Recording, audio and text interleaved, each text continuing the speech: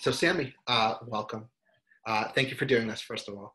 Um, can you first tell me um, a little bit about um, um your background, um, where you grew up, um, you know, how did your love of Israel start and stuff like that?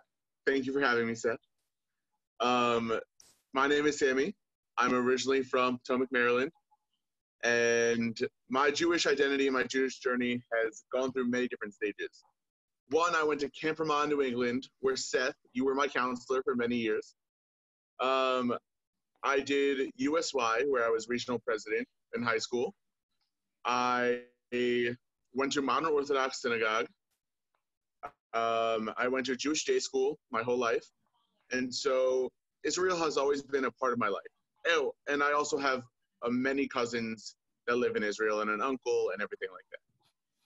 So Israel has always been something that I've wanted to be a part of, and but I've never really said anything because that was all my sister's forte. I didn't want to step on her toes.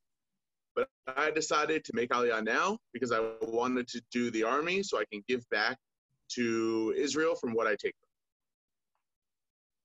Nice. That's that's awesome.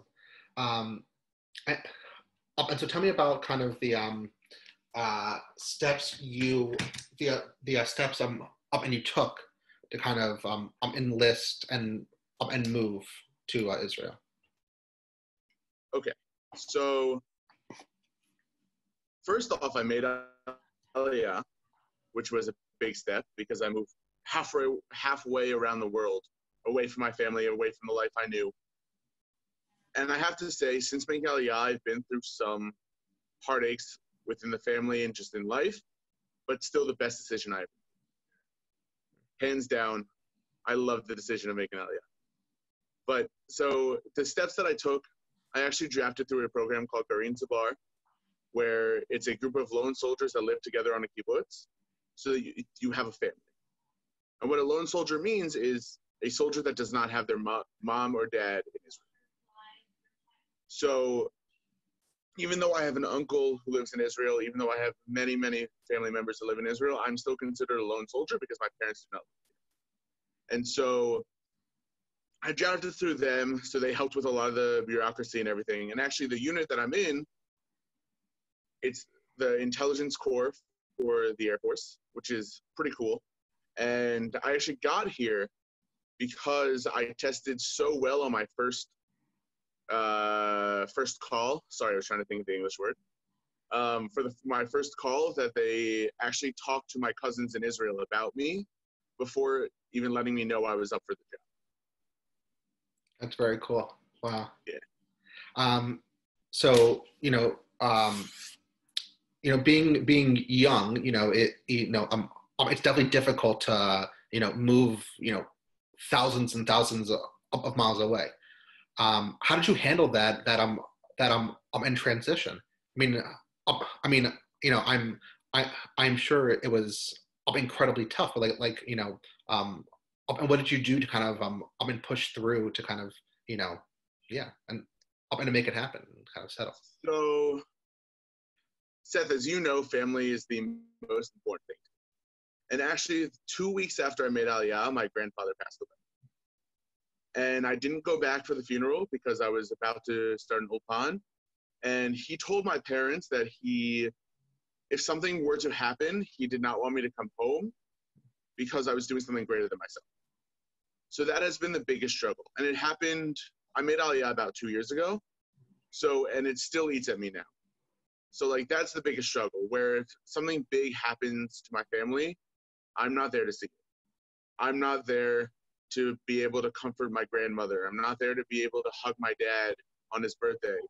I was actually supposed to be in the States for Mother's Day. I was supposed to surprise my mom, but Corona happened. So these type of things really eat at me, but like that's honestly the biggest struggle I have. And the way I get through it is I turn to my friends, I turn to my family that's here, I turn to my family in the States. And even though it's hard for all of us, we are able to get through it together because of the support that we have for each other for sure. Absolutely. So on the flip side what is like the uh the the most uh um and positive part the most uh you know kind of you know um uh, like like um um like the uh like like your like like the um like like your uh, purposeful reason like you know like uh like in the positives of living in in Israel and serving and kind of you know the flip side um of the uh,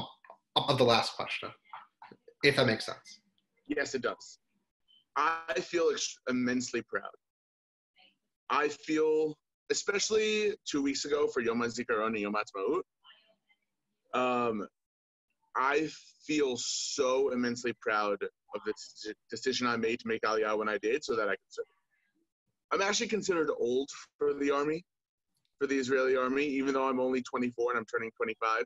Um, everyone's like, You're so old. What are you doing? Why don't, oh, where are your kids? Like all that. And I'm just like, I decided to do the army now. Um, but I feel such a sense of pride for the country, for the uniform, for everything that I do to, excuse me, to help protect Israel. That's amazing, and I'm, I'm, a, I'm a fantastic, I'm, I'm in soundbite like that, like that, like, like, like, like, like the uh, thing that I'm, I'm, I'll like put as, as like I'm, I'm a, I'm a highlighted clip. That was, that, that was a very awesome answer. I told you I've done this before. I know, I know, I know. Yeah, um, and you're seasoned, of course. Um, uh, how do you think your uh, Jewish education specifically um, um, um in the states kind of uh, helped you um, in Israel, and whether it's you know up in Judaic studies, whether it's Hebrew, whether it's just kind of you know up in Yiddish kind of just, just just like you know you know in values, uh, you know um, um, um, has that helped you? Stuff like that. So, I've had a lot of Judaic education throughout my life. I think there are three really important things that really helped me make the transition. The first is that at my high school slash middle school slash elementary school, we had this thing called Zimria, which was a competition between the grades on Yom, Ha'atzmaut for an Israeli song, dance, skit, just a whole competition where the whole school would celebrate Israel. And that always made me so happy because it, it was like one of my favorite days. We could celebrate Israel. I could go crazy. I could celebrate the country I love. And so just that was one of the things that wanted me to come here. The second, honestly, probably would be camp because of all the Mishlacha members that we had from Ayal, who I still see every now and then, by the way. Um, from all the programming that we had about Israel, from everything like that. And then the third is I've honestly always kind of had the Israeli mindset of being aggressively nice. Like, everyone is so nice here. And if you try to like step away from the niceness and try and step away so you can have some time for yourself, they get offended. And I've always kind of been like that. So I think that those three things have helped me make the transition a lot easier. Very cool. That's true.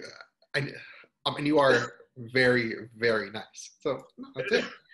Which, which, which, which, I'm, you know, I've, I, I, I've always seen as um, as a um, a tremendous positive. So that's good. Um, so now that you are in the army and have been there for um, two years, what are your um up in responsibility? Um, up and what's your like um up in position, stuff like that. So I can't really say what I do, um, but I can say that I work with the F-35 planes, the the planes that the newest planes that Israel has received from the states, and so all I can say is what I do is pretty cool and that I know that if I don't do my job, bad things could happen. Understood. Very cool. Um, so why specifically? So you're um, um, I'm in the Air Force, correct? Yes. So why specifically um, the Israeli Air Force um, and um, and, um, and, um, and did you choose that or did the Army choose that? So the Army wanted me for intelligence from the And because of the program I am in for drafting and everything like that, I was not allowed to be on an open base, which means it's a nine to five job. So the Air Force is the only part branch of the military where if you're in intelligence, it does not have to be a nine to five job. And so I my base is down south. It's called Nevatim. And my kibbutz is super north. It's called Sde And it's about a seven hour journey from base to home.